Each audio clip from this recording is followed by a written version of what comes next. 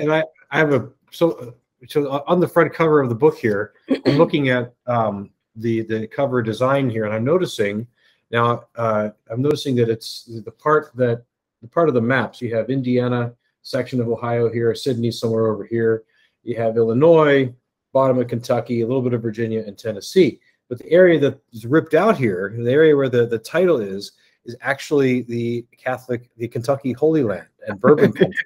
I yeah. noticed so it's geographically. So, were, were you in, were you involved in the? Uh, how much involvement did you have in selecting the map portion for your cover?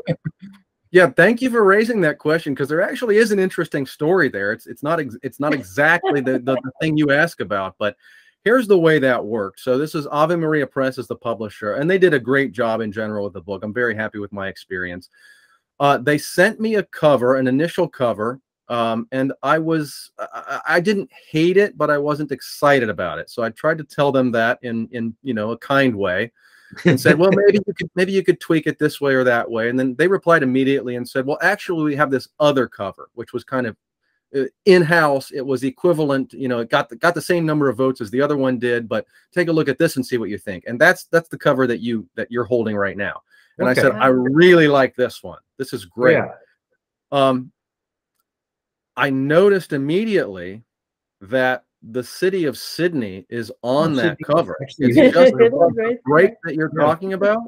Mm-hmm. And I thought, okay, number one, Sidney's a pretty small city.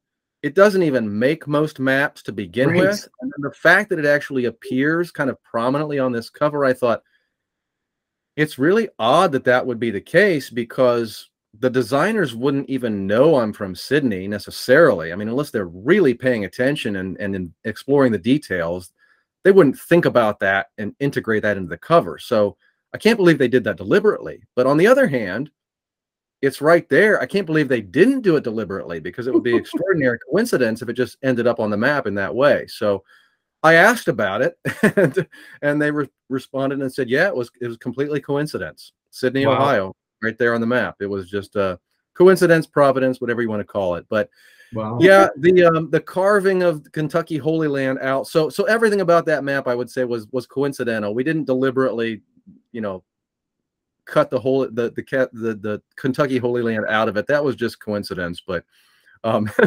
whatever else. I, I, I need to look at my own copy to see what else is on or not on that map. But I think well, based, you know, based on based on the positioning. And, sorry, go ahead based on the positioning, the compass. I mean, the, the Holy Land's right about here, so it's right oh, on the compass. Okay. In the, in the, center of America, so you know it's right in the heart of the title. Yeah. I think it's good place. It, it's it's all it's all completely thought out, and everything about that. Absolutely. whatever, whatever meaning you want to import into it, it's, it's there. Yes. Uh.